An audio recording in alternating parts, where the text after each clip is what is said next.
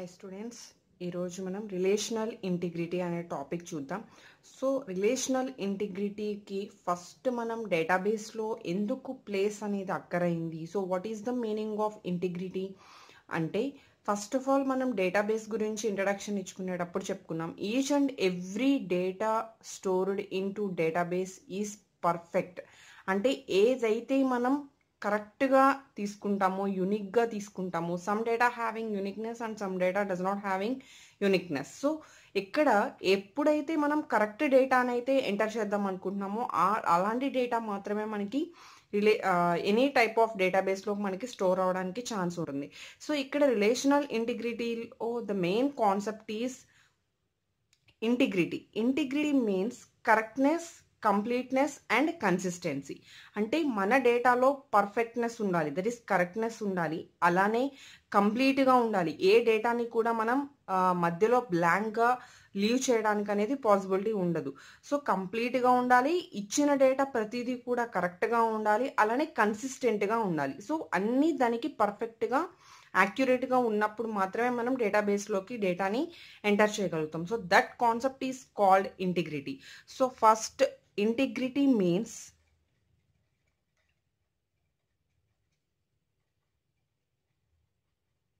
integrity means correctness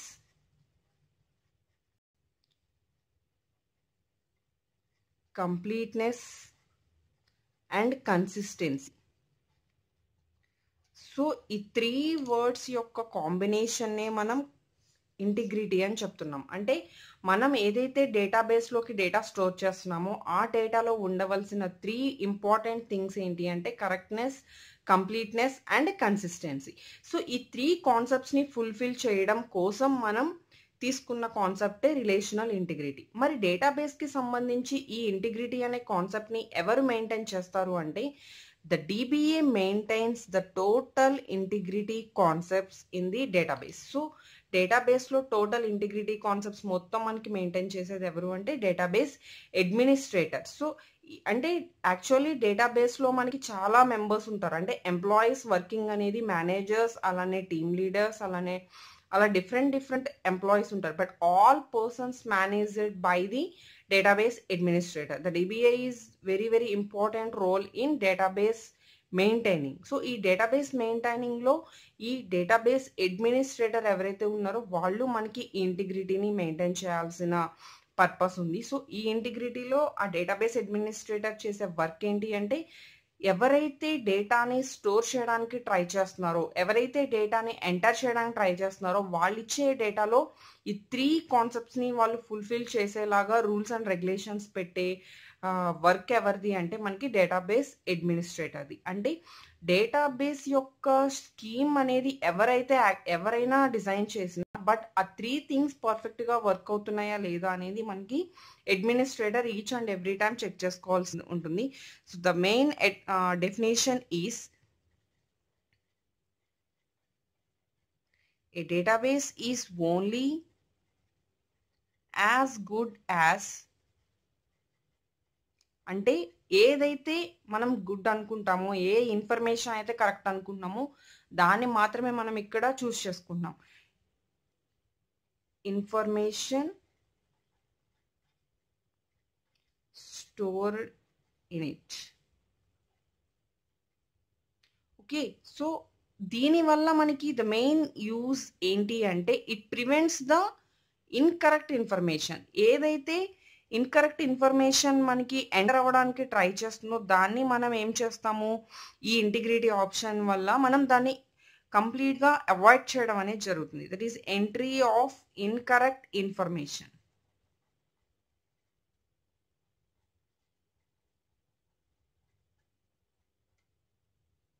okay so the main use of database relational database or database is perfectness so అదే పర్ఫెక్ట్నెస్ని కొంచెం పర్ఫెక్ట్గా మనం correctness completeness consistency కోసం మనం ఇంటిగ్రిటీ యూజ్ చేస్తాం so the total types of integrities మొత్తం మనకి ఎన్ని టైప్స్ ఆఫ్ ఇంటిగ్రిటీస్ ఉన్నాయి అంటే త్రీ టైప్స్ ఆఫ్ ఇంటిగ్రిటీస్ అనేవి మనకి అవైలబుల్గా ఉన్నాయి. సో దాన్ని మెయిన్గా మనం తీసుకుంటున్నాం.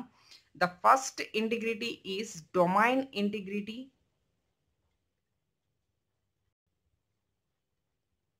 and the second integrity is entity integrity. And the third one is referential integrity. So first ఈ కాన్సెప్ట్స్ మనకి అర్థం కావాలి అంటే first of all what is relational data model అనేది తెలియాలి. And what is domain what is entity అనేది మనకు తెలిసినప్పుడే మనం ఈ కాన్సెప్ట్స్ అనేవి ఈజీగా అండర్స్టాండ్ చేసుకోగలుగుతాం. So first before that how many integrities constraints constraint means rule అంటే మనకి ఎన్ని ఇంటిగ్రిటీ కన్స్ట్రైంట్స్ అవైలబుల్గా ఉన్నాయి డిబిఎంఎస్లో ఆర్ రిలేషనల్ డేటాబేస్ మేనేజ్మెంట్ సిస్టంలో అంటే టోటల్ మనకి డిఫరెంట్ డిఫరెంట్ కన్స్ట్రైంట్స్ అనేవి అవైలబుల్గా ఉన్నాయి. సో ఆ కన్స్ట్రైంట్స్ని యూజ్ చేసి మనం ఇక్కడ ఈ త్రీ టైప్స్ ఆఫ్ ఇంటిగ్రిటీస్ని మెయింటైన్ చేస్తూ ఉంటాం. The first constraint is not null constraint constraint means rule not null constraint unique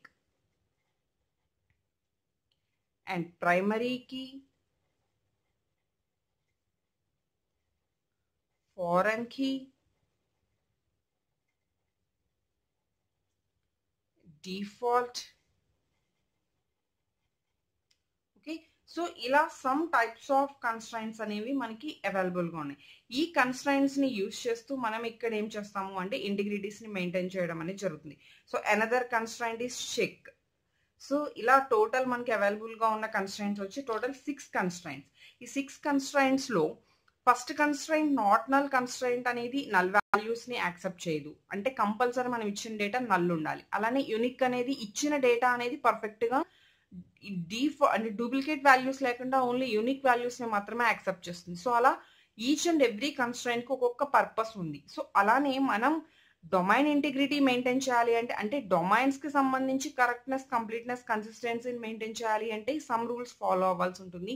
అలానే ఎంటిటీ ఇంటిగ్రిటీ అయితే సమ్ రూల్స్ అలానే రిఫరెన్షియల్ ఇంటిగ్రిటీ అయితే one concept so first of all domain integrity అనేవి దేనిని associate అయి ఉంటాయి అంటే domain integrity rules are associated with maintaining the correctness of attribute values so domain means మనకి ఒక ఫీల్డ్ దట్ ఈస్ ఒక అట్రిబ్యూట్ని మెయింటైన్ చేసే ఒక దాన్నే మనం డొమైన్ అని చెప్తున్నాం. సో ఏదైతే డొమైన్ ఇంటిగ్రిటీ ఎప్పుడైతే పర్ఫెక్ట్గా ఉంటుందో ఆటోమేటిక్గా మనం దాని నుంచి అట్రిబ్యూట్ వాల్యూస్ని వాటి యొక్క రిలేషన్స్ని మనం కరెక్ట్గా మెయింటైన్ చేయగలిగే పాసిబిలిటీ అనేది ఉంటుంది. So that's why you are maintaining the domain integrity ఆటోమేటిక్గా it checks the validity of entries ఏదైతే మనం కాలంలోకి ఎంట్రీ చేద్దాం అనుకుంటున్నామో ఆ ఎంట్రీస్ని కూడా ఇది ఏం చేస్తుందంటే each and every time check చేస్తుంది. సో దీన్నంతా కూడా మనం రిస్ట్రిక్ట్ చేయడం కోసమే మనం డిఫరెంట్ డిఫరెంట్ డేటా టైప్స్ని యూజ్ చేస్తూ ఉన్నాం.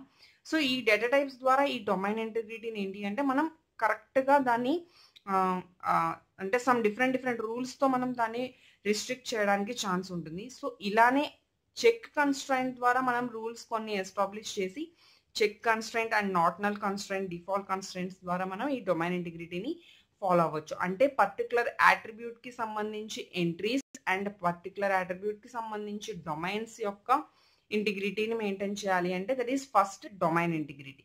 After that entity integrity. So entity integrity means different different డొమైన్స్ని అంటే నెంబర్ ఆఫ్ని కంబైన్ చేస్తూ ఉండే మెన్షన్ చేసే వన్ ఎంటిటీ. ఫర్ ఎగ్జాంపుల్ మనం ప్రీవియస్ క్లాసెస్లో స్టూడెంట్ అనే ఒక ఎంటిటీ తీసుకున్నాం. స్టూడెంట్ అనే ఎంటిటీకి డిఫరెంట్ డిఫరెంట్ అట్రిబ్యూట్స్ ఉన్నాయి. ఏంటి attribute student number student name ఇవన్నీ domains but the main entity is student అలానే ఎంటిటీకి సంబంధించి ఇంటిగ్రిటీ రూల్స్ని మనం ఎన్జ్యూర్ చేయాలి అంటే first of all it is easy to identify each and every entity in the database so ఎప్పుడైతే మనం ఎంటిటీస్ని డేటాబేస్లో ఈజీగా ఐడెంటిఫై చేస్తామో ఆటోమేటిక్గా దాని యొక్క ఇంటిగ్రిటీని మనం మెయింటైన్ చేయగలుగుతాం. ఎందుకంటే ఫస్ట్ ఆఫ్ ఆల్ మనం ఒక స్టూడెంట్ అనే ఎంటిటీ తీసుకున్నాం.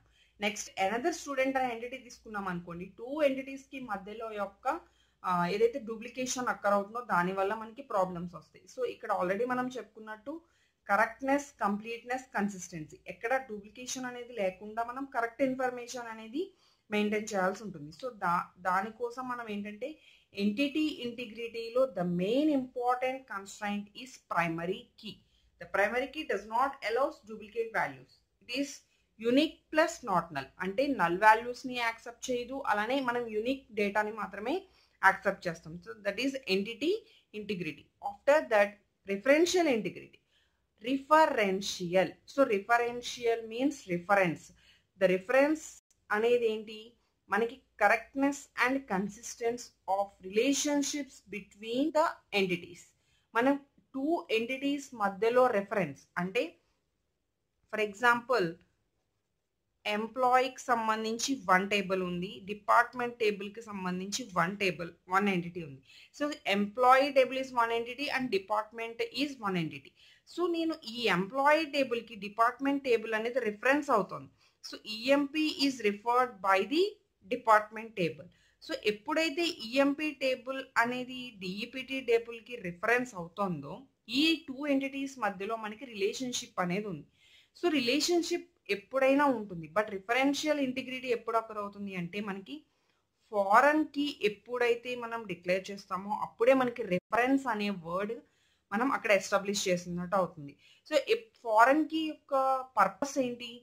ఈఎంపీ టేబుల్లో one of the attribute is employee ID and another attribute is department ID for example so employee ID is one attribute and department ID is another attribute so same అలానే మనకి department టేబుల్లో department ID is the main attribute అంటే ఒకే column that is one attribute in this two tables EMP టేబుల్లో department ID ఉంది అలానే DEPT టేబుల్లో కూడా department ID ఉంది. So department ID acts as primary key in department table but department ID అనేది EMP టేబుల్లో మనకి ఎలా వర్క్ చేస్తుంది అంటే ఫారెన్ కీగా యాక్ట్ చేస్తుంది. ద ఫారెన్ కీ పర్పస్ ఏంటి?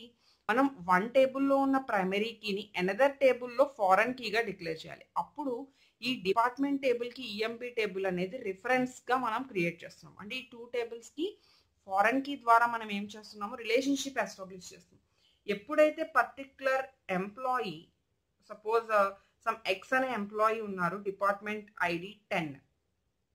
సో అదే డిపార్ట్మెంట్ టెన్ ఐడికి సంబంధించి number of employees fifty members ఉన్నారు సో పర్టికులర్ ఎక్స్ అనే మెంబర్ మనకి తీసేసాం. మనం అంటే మన ఎంప్లాయీస్ లిస్ట్లోంచి మనం మైనస్ చేసాం ఎలిమినేట్ చేసాం అనుకోండి. ఆటోమేటిక్గా this impact in the total number of employees particular department in department table that is updated as 49 that is because of one member minus అయ్యారు. So that is the reference relationship between two entities. ఆ relationship maintain చేయడం కోసం మనం referential integrity అనేది తీసుకుంటాం.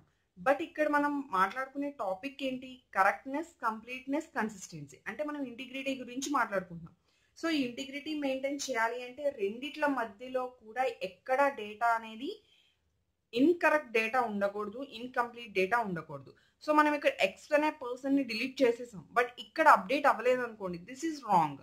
అంటే correct కాదు. So దాన్ని ఎలిమినేట్ చేయడం కోసమే మనం ఇక్కడ తీసుకున్నది ప్రైమరీకి అండ్ ఫారెన్కి కాన్సెప్ట్స్. ఆ టూ కాన్సెప్ట్స్ ఎప్పుడైతే పర్ఫెక్ట్గా వర్క్ అవుతాయో ఆటోమేటిక్గా మనం ఇక్కడ ఏ ఆపరేషన్ పెర్ఫామ్ చేసినా automatic that applicable to parent table so ఏదైతే ప్రైమరీకి నుంచి మనం రెఫరెన్స్ తీసుకున్నామో అక్కడ కూడా అది అప్లై చేయడానికి పాసిబిలిటీ ఉంటుంది.